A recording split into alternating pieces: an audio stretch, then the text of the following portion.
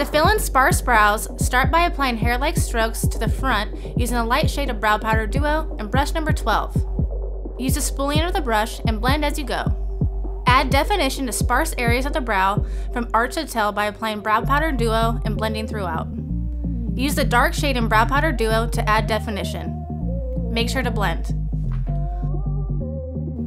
To highlight, use Highlighting Duo pencil along the brow bone and brush number 20. Finish the look with clear brow gel to set the hairs in place. Here is our completed brow.